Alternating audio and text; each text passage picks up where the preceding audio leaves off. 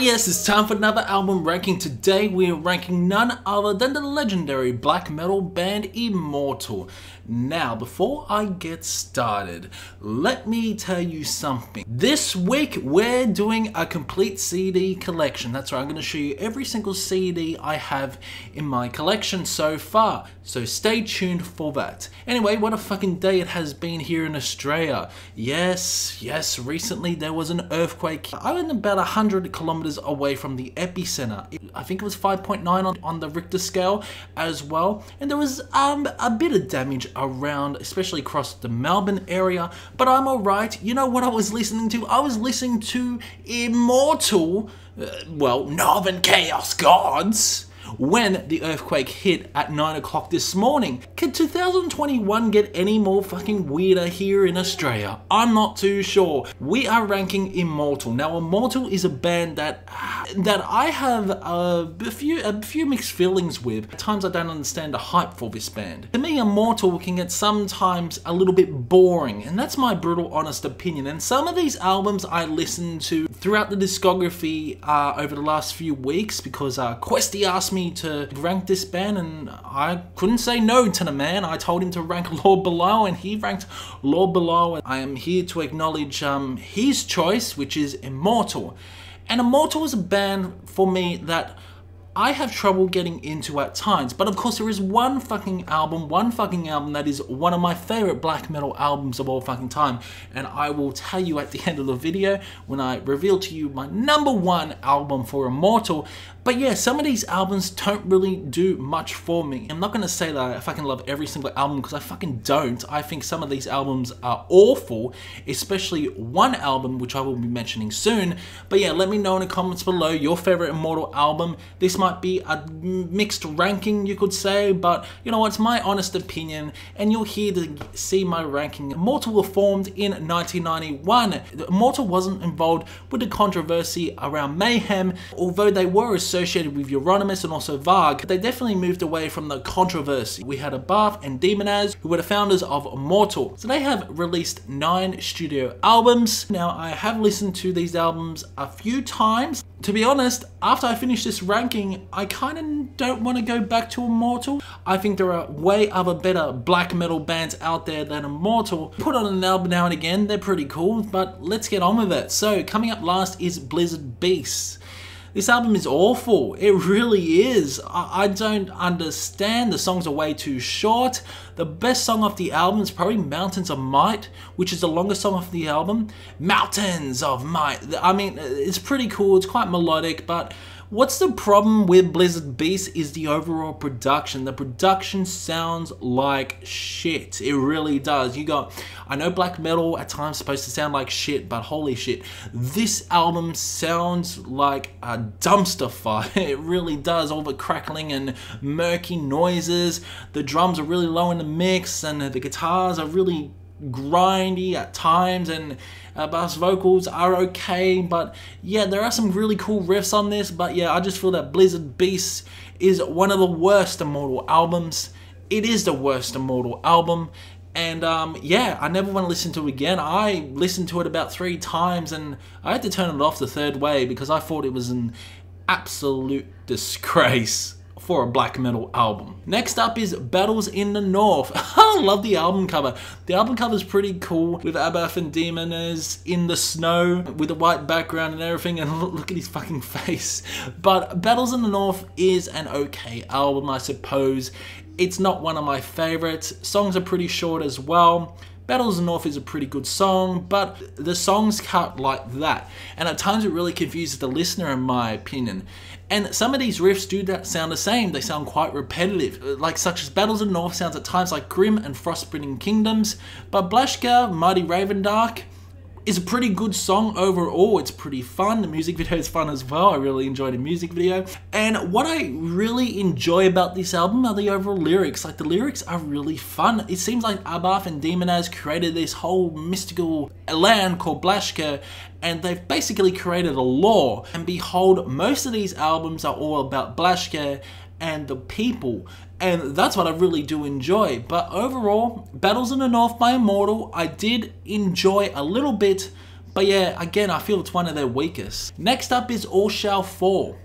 This album is a pretty good album. I actually do enjoy. I just love how some of these songs are quite long. Great songs like All Shall Fall, The Rise of Darkness, Hordes to War. Norden of Fire has one of the best solos. Really enjoy Arctic Swarm as well. Mount North, a very interesting intro. And Unearthly Kingdom is a great way to end off the album.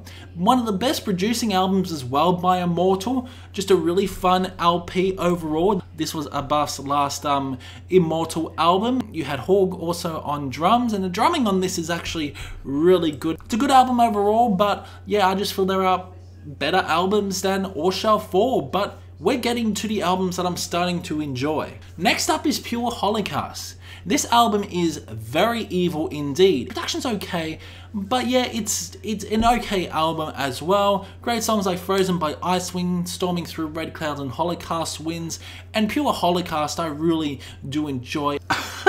the album cover cracks me up as well. Um, they're just staring at staring into your soul. Pure Holocaust is a good album. You know, the next few albums we want to mention are a hell a lot better than Pure Holocaust. Demonaz is great on guitar, really good guitar work, and at times this album can become quite chaotic. With the other albums I have mentioned are less chaotic apart from Blizzard Beast was a shitstorm, that's for sure. Shit snowstorm. Next up is Damned in Black. This is when Immortal become black and thrash, you could say. There are elements of thrash on this. Great songs like Triumph, Triumph, Wrath from Above, My Dimension, Against the Tide, I love that solo on Against the Tide, and Damned in Black is such a really fun way to end off the album. Again, the album cover is amazing. Damned in Black is a really fun LP. I always, I really wanted to listen to this album over and over again. I gave this album about four chances, and holy shit, I started to really enjoy it.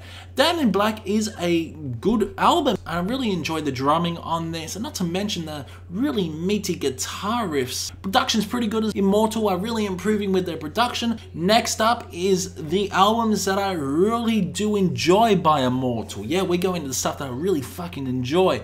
Sons of Northern Darkness.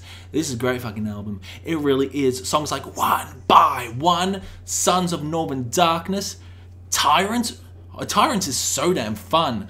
Within the Dark Mind is such a catchy song. Antarctica, really love the interesting intro in Antarctica, incorporating a few acoustic moments. And Beyond the North Waves, such an epic song. Feels like you're just journeying within Immortal as you are sailing into the seas. But yeah, great album, Sons of Northern Darkness. Really do enjoy it. There's nothing bad I can say, but it is a very, it is a solid black metal album. A few proggy elements as well on this, a few odd time signatures. Abbath's vocals are fantastic on this, love the bass work, and Horgh's drumming is absolutely spectacular as well. The drumming is one of the main stars of Sons of Dark, Northern Darkness. It's definitely one of the most melodic albums you could say by Immortal incorporating elements of that bit of black and thrash. Next up is the return of Immortal we got Northern Chaos Gods, and this is with Demonaz on vocals, and we also had Horgh on drums. And overall, these two just absolutely slayed on this album. Fucking love it. Great songs like Northern Chaos Gods, Gates to Blashyrkh, along with Where Mountains Rise. Songs like Mighty Raven Dark, Mighty Raven Dark when I heard that song, heard that song, I was listening to Northern Chaos Gods, and uh, fucking the ground was shaking. I just feel like I was in battle as well. Great songs, really enjoyed the guitar work, some really good solos as well on this. Called to Ice, Called to Ice is such a great song overall. Good production. It, I love the riffs on this, and yeah, it's a really fun album. Next up is At the Heart of Winter.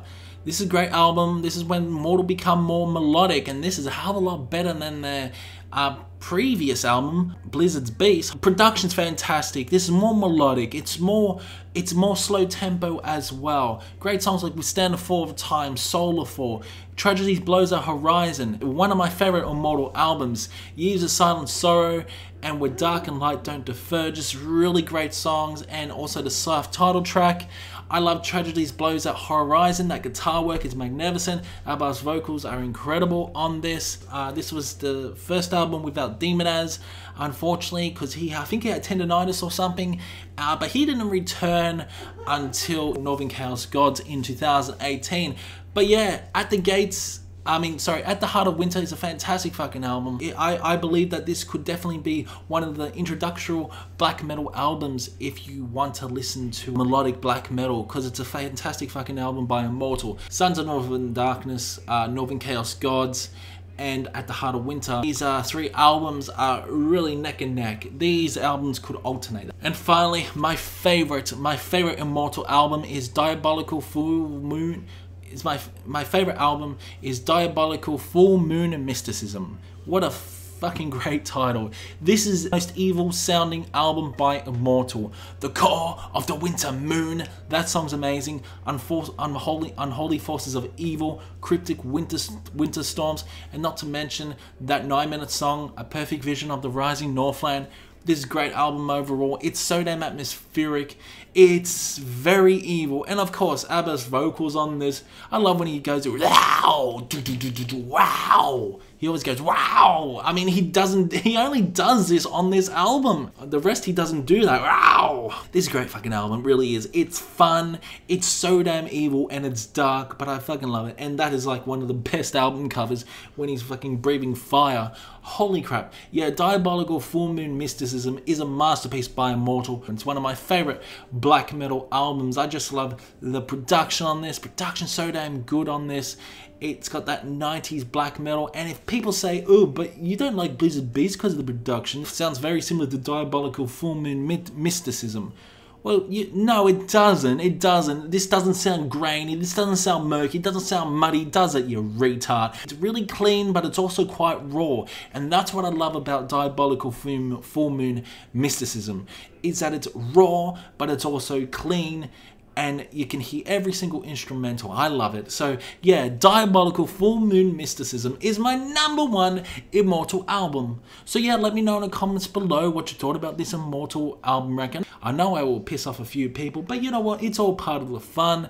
Um, yeah, Blizzard Beast is like the worst black metal album I've heard, to be honest. It is. And Immortal is a band that is slowly growing on me. I, I am still a little bit torn with this band. But, of course, it was a request by Quest for Metal, and of course I had to do it. So yeah, let me know in the comments below what you thought about this ranking. Do you agree or disagree with my opinion? Keep discussion going in the comment section below, and I will see you in the next one.